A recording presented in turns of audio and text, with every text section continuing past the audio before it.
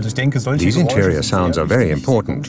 You come into contact with them before you've even driven the car, and you've already at least subconsciously made up your mind if you like them. It's especially important as vehicles have become quieter, so noises come to the fore which maybe could only have been heard in the interior.